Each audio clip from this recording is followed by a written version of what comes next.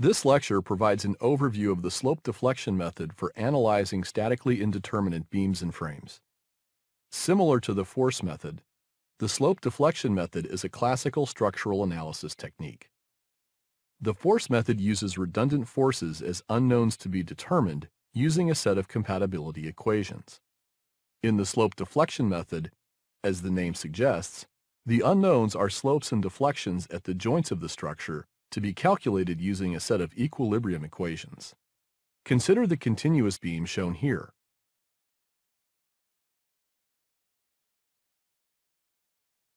The general deformed shape of the beam is going to look like this. Let's refer to the beam rotation at the supports as theta A, theta B, theta C, and theta D. These are the unknowns to be calculated using a set of equilibrium equations. But what are equilibrium equations? And how do we get them? Since each joint has to be in equilibrium, sum of the moments at A, B, C, and D must be zero. So the equilibrium equations are To write these equations, we start by isolating the joints, like this.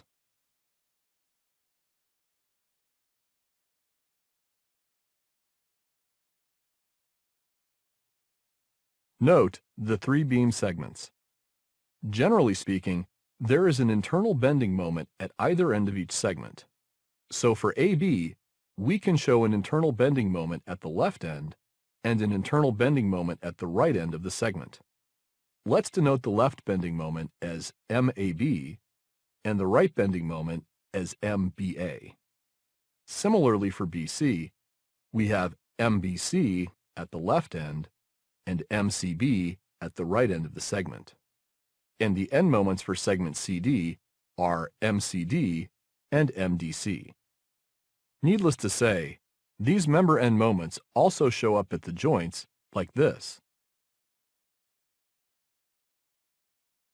Since each joint has to be in equilibrium, we can write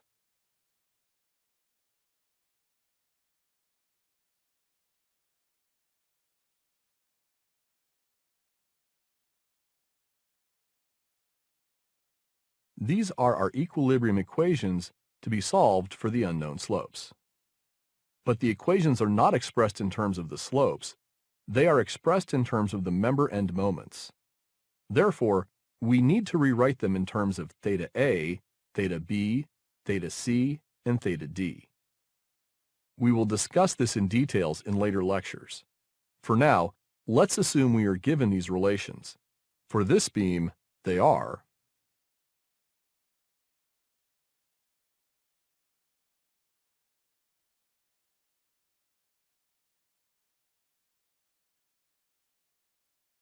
Note that each member end moment is expressed in terms of joint rotations, the applied load, and member geometry and properties.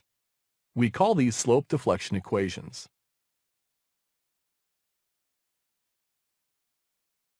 Substituting the slope deflection equations in these equilibrium equations, we get four equations in terms of the four joint rotations.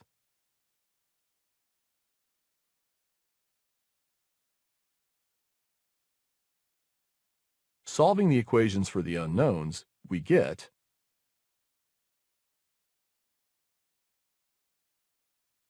So, here we have the joint rotations in terms of the applied load magnitude, W, member length, L, and section and material properties, EI. Now that we know the joint rotations, we can substitute them in the slope deflection equations to get the member end moments.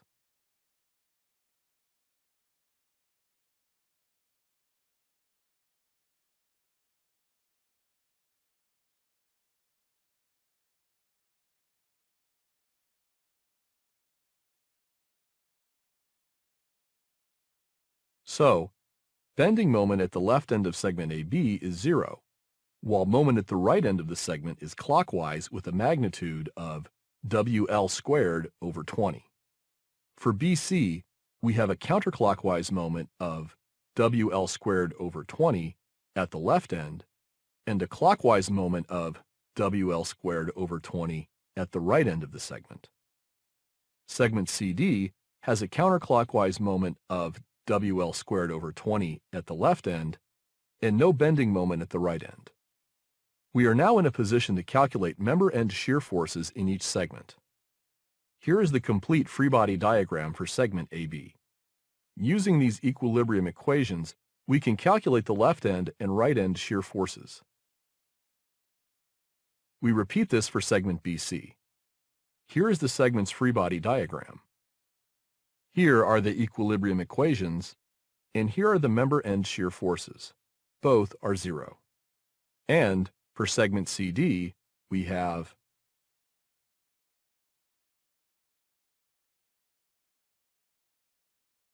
Here is the free body diagram of the three segments showing the member end shear forces.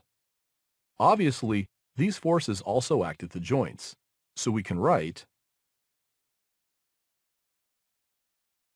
Therefore, the support reactions are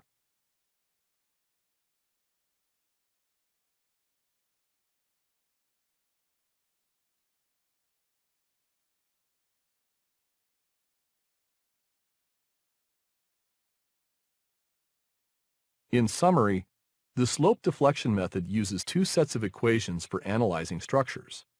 Slope deflection equations for relating member end moments to joint rotations, and joint equilibrium equations for calculating the rotations. Once joint rotations are determined, member end bending moments and shear forces can be readily computed. Central in this process is the formulation of the slope deflection equations. We will begin examining how these equations are obtained in the next lecture.